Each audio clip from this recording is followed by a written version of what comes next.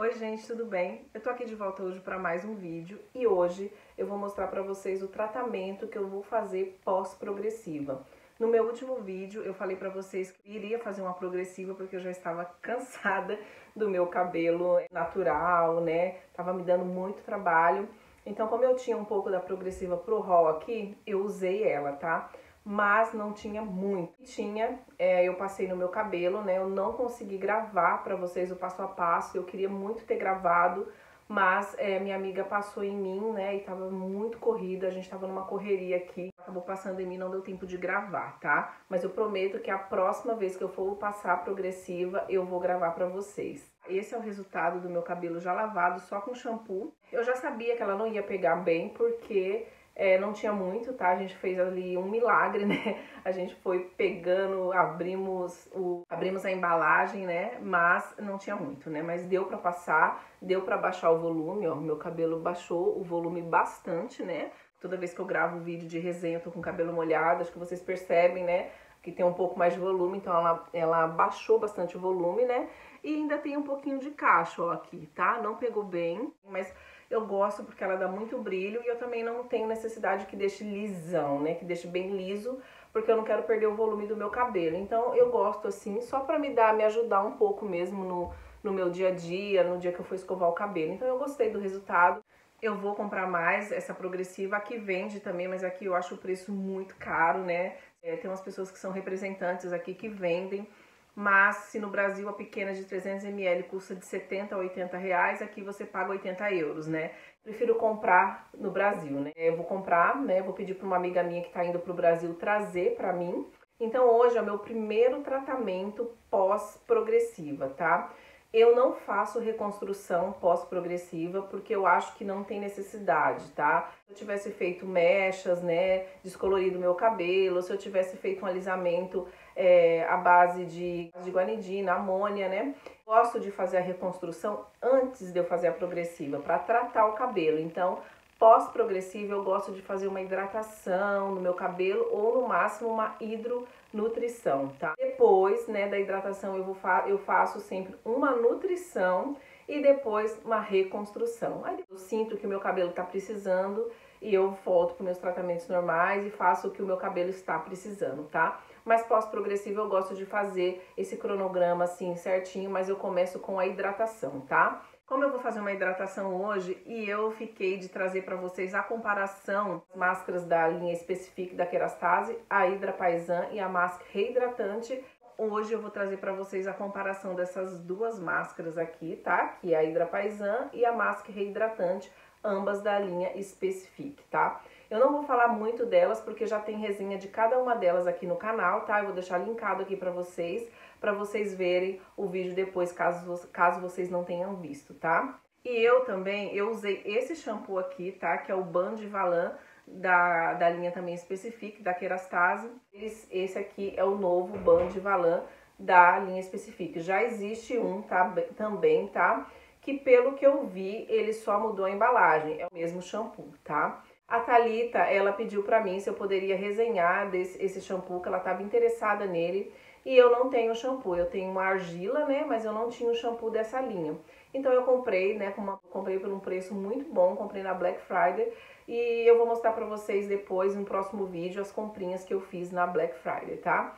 Eu usei esse shampoo para lavar o meu cabelo e vou falar mais dele, tá? Vou fazer uma resenha desse shampoo para vocês. Ele é um shampoo equilibrante para raízes oleosas e comprimentos sensibilizados. Ele purifica o couro cabeludo, tá? Ele remove o excesso de oleosidade e também ele retira o odor do cabelo. Às vezes, às vezes, né, tem gente que tem um odor muito forte no couro cabeludo devido talvez a caspa, seborreia ou outro tipo de problema, alguma alergia, alguma coisa, ele tira o odor do couro cabeludo, tá? E nutre gentilmente o comprimento do cabelo, dando suavidade e brilho aos fios, tá? Então, gente, eu gostei muito desse shampoo, eu amo shampoo nutritivo, eu gosto muito dos shampoos transparentes, né, que limpam, né, a gente sente que limpa mais, mas esse tá, limpa também bastante, tá, ó. É um shampoo nutritivo, tá, ele desembaraça o cabelo, aqui eu não pintei meu cabelo, meus dedos podem passar aqui, dá um pouquinho, né, dá uma... não desembaraça, é, não passa com tanta facilidade, né, Ele tem uma fragrância muito gostosa. É muito gostoso mesmo o cheiro desse shampoo. Eu não sei explicar, um cheiro de limpeza, um cheiro de, de, de ervas, mas assim, sabe aquele cheiro de, de planta, mas bem gostoso? E um cheiro bem refrescante, tá? Eu vou mostrar como que ele é. Ó, ele é perolado, tá? Ele é assim. É um shampoo que limpa bem sem ressecar o comprimento, tá? Ele é um shampoo que ele nutre o comprimento do cabelo. Os ativos principais desse shampoo são aminoácidos e a vitamina B6, tá? Os aminoácidos, eles mantêm a fibra capilar resistente e forte, garante a elasticidade para evitar a quebra do cabelo. Também ajuda o cabelo a crescer com mais facilidade. A vitamina B6 faz com que a circulação sanguínea do couro cabeludo fique mais ativa. Isso faz com que os nossos fios se desenvolvam com mais facilidade e nascem mais forte e resistente, tá? Então, gente, eu gostei muito desse shampoo, tá? Eu acho ele um shampoo muito bom, gostei bastante dele, tá? Eu usei ele já duas vezes, eu fiz a reconstrução. A máscara que eu usei para reconstruir o meu cabelo foi a Terapiste, tá? Foi o tratamento que eu fiz antes do da Progressiva. Então eu lavei meu cabelo com esse shampoo e usei a Terapiste. E hoje eu tô usando ele novamente no pós-progressiva. Tá para vocês a composição completa de todos os ativos que vem nesse shampoo. Agora eu vou dividir o meu cabelo no meio, tá? Para usar de um lado a Hidra Paisan e desse lado eu vou usar a, máscara reidratante, tá? Pronto, gente, o cabelo tá dividido no meio, tá? Desse lado aqui eu vou passar a Hidra Apaisan, tá? Eu vou passar essa quantidade aqui na metade do meu cabelo.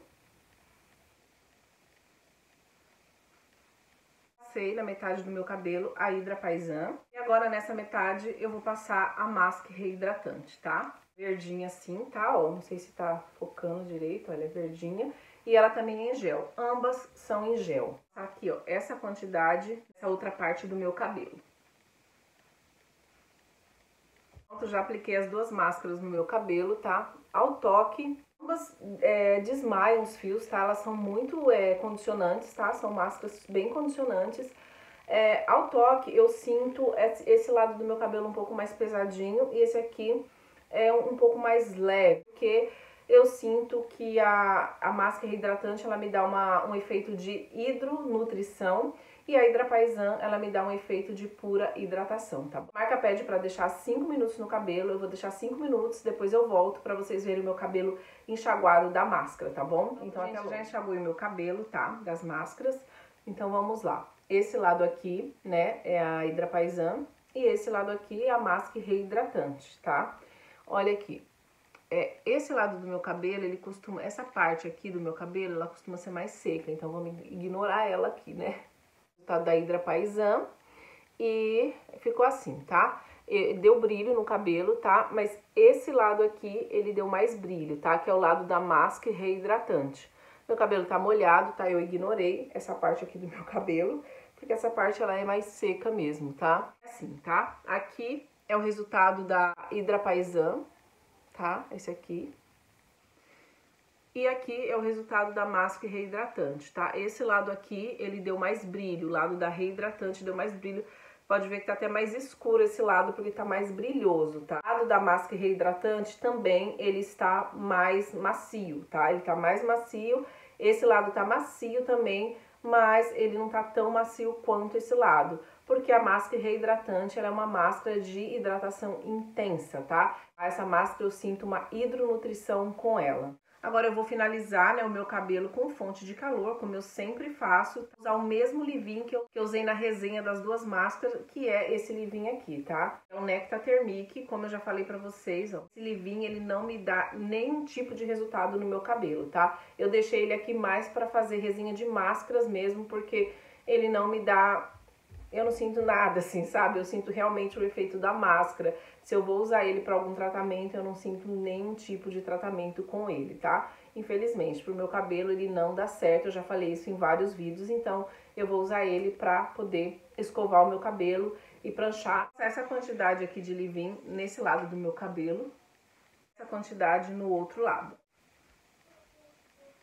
Já apliquei o leave-in, agora eu vou finalizar o meu cabelo com fonte de calor e depois eu volto para vocês verem o resultado final e para eu falar o que eu achei dessas máscaras e, falar para vocês qual dessas duas máscaras eu gosto mais, tá bom? Então, Gente, já finalizei o meu cabelo e estou de volta para vocês verem o resultado, comparação dessas duas máscaras, tá? Esse lado aqui é o lado da Hidra Paisan, tá? E esse aqui é o lado da Mask Reidratante, tá? Olhando assim, né, eu vejo, tá? O lado da Mask Reidratante, ela me deu mais brilho. Não sei se vocês conseguem ver, mas ela me deu mais brilho. Mesmo quando eu fiz a resenha das duas separadas, sempre achei que essa máscara, a máscara reidratante, ela me dá mais brilho, tá? E ela me dá um efeito, ó, meu cabelo tá um pouco mais pesado desse lado aqui, ela me dá um efeito de hidronutrição, tá? Ela deixa o cabelo com mais peso, ela deixa o cabelo com mais brilho, tá? E deixa também o cabelo muito macio. E o lado da Hidra Paisan, ela me dá mais leveza, tá? O cabelo fica mais leve. A Hidra Paisan me dá um efeito de pura hidratação. Como essa máscara Specific, máscara reidratante surgiu, né? Algumas pessoas estão falando que entrou no lugar, máscara reidratante vai entrar no lugar da Hidra Paisan. Eu não sei nenhuma informação, tá? No site da Kerastase, eu não vi nenhuma informação. Eu vejo algumas pessoas, tanto daqui da Alemanha quanto de Portugal, de Portugal não são todas, mas elas falam que a, a Paisan vai sair de linha. Eu não sei se vai sair de linha, porque elas têm propostas diferentes, elas não têm a mesma proposta, né? Então eu não sei, tá? Não sei falar, ah, essa máscara vai sair de linha, porque eu não tenho certeza e eu não vi nenhuma informação sobre isso. A proposta da Hidrapaisan é tratar um couro cabeludo sensível, né? Um couro cabeludo com coceira e ela traz hidratação o comprimento dos fios. A Mask Reidratante ela tem uma proposta de tratar a raiz oleosa e dar uma hidratação intensa aos fios desidratados, né? Os fios sensibilizados e desidratados. Então, a proposta delas são diferentes, né? uma não vai substituir a outra, né? Então, eu acredito que a Kerastase acrescentou mais uma máscara na linha Specific, né? Não sei, posso estar enganada, mas é a minha opinião, tá bom? As embalagens, elas são assim, tá? A Hidra Paisan, ela tem a tampa cinza e tem a embalagem branquinha. Máscara reidratante, ela tem a tampa bem branquinha e a embalagem, assim, um branco um pouquinho mais amareladinho, tá? Ambas são em gel. A paisã ela é assim, ó, bege, tá? Ela é em gel, mas ela é bege. E a máscara reidratante também em gel, só que ela é verdinha, tá? E falando da fragrância. Qual fragrância que eu gosto mais? Com certeza é a máscara reidratante. Eu gosto da fragrância da Hidra Paisan. Ela tem aquele cheiro de mentol bem é, forte, sabe? Pra mim é forte, mas eu gosto, tá? É um cheiro que é bem presente na máscara e fica presente também no cabelo. E essa aqui, ela tem um cheiro herbal, um cheiro de planta, assim, um cheiro bem gostoso, tá? Eu gosto mais da fragrância dessa máscara aqui. E referente ao embelezamento, tá? Eu não vou comparar porque elas têm propostas diferentes. Então, uma vai, vai, vai tratar uma coisa no meu cabelo e a outra outra coisa, né? Então, eu não posso comparar assim qual que é melhor porque elas têm proposta diferente. Mas sobre embelezamento, sobre brilho, maciez, eu prefiro a, a máscara reidratante. Ela me dá mais embelezamento, ela me dá mais brilho, ela me dá mais maciez, tá? Agora, tratamento, cada uma tem a sua função tá? Ambas são ótimas, mas embelezamento, essa daqui ganha muito. Olha, aqui, né, pra vocês verem, esse aqui é o resultado da Hidra Paisan, tá? E esse aqui é o resultado da máscara reidratante, tá? Acho que vocês conseguem ver o brilho, tá? Que esse lado tá mais brilhoso do que esse lado aqui. E também, né, falando da minha opinião do shampoo, né, que eu fiz a resenha, fiz a comparação dessas duas máscaras, mas também aproveitei para fazer a resenha desse shampoo, que é o Band Valan.